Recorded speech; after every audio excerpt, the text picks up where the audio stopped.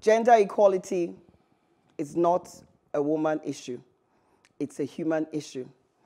And so I speak on Nigeria's ill-structured and gender-biased constitution reform. Isn't it time we change the narrative? I'm a little girl with a big dream. I'll be told this often. As a woman, I have plunged headfirst into a world where opportunities are stacked against the female gender. I've fought and I continue to battle predetermined stereotypes. My dreams and my ambitions have led me into the dark jungle of Nigerian politics. And at heart, the little girl with big dreams brought with ethos that should never be a glass ceiling and that ambitions and aspirations, regardless of your tribe, your gender, or constitution, are okay, and it's okay to dream big. Indeed, I have big dreams.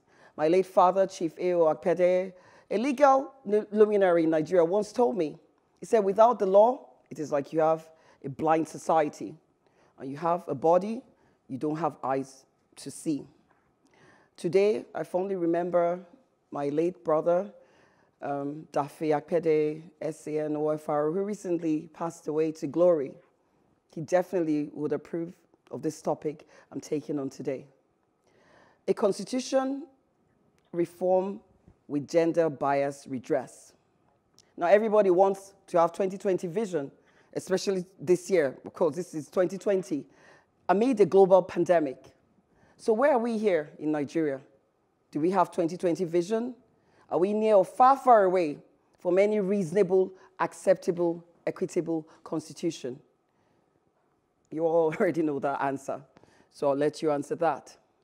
Our constitutional reforms in 1999, everyone says it's a militarized version of reforms. And recently, we had yet another amendment of our constitution, which was not only patriarchal because it did not address the devolution of powers, neither the issue of giving women quotas in representation in the highest echelons of power in our Nigerian government. This particular reform was also done without the input of the general public, be it in a referendum or town hall meeting style, or even a written input from civil societies or interested uh, pressure groups. The late Justice Ruth Bader Ginsburg once said, and I quote, take your feet from off our necks. Mm. Famously known as the notorious RBG, Justice Ginsburg won five out of her six Supreme Court cases.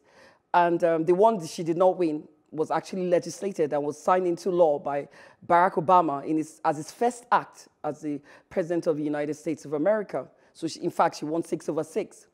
Now, the notorious RBG was all about equality for, for women, for, for men, for blacks.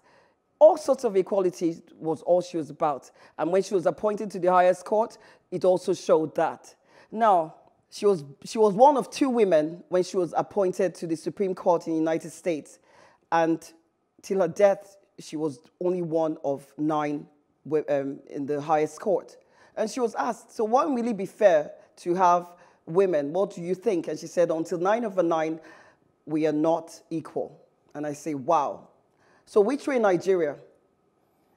We need to develop our constitution to represent our population adequately, apart from the devolution of power issue. We need to address seriously the underrepresentation of women in our politics, in our government, in all top positions in Nigeria. I therefore advocate that the federal government of Nigeria, despite a huge 2014 expense of a constitutional conference where the white paper never saw the light of any day, or neither was it um, implemented, to be reworked to include quotas for women, for an urgent review of our same constitution with the view of signing into law quotas so that women will begin to achieve not just equality, but a true sense of belonging for equal work for equal pay. And that this value and everything else will make urgent changes that we need in Nigeria today for our nation to thrive. So remember the saying, if you want something said, what do you do? Send a woman. But if you really want something done, please send a woman. Nigerians, you know the answer. Women are 50% of our population, occupying less than 1% of our top ranking position. I therefore rest my case.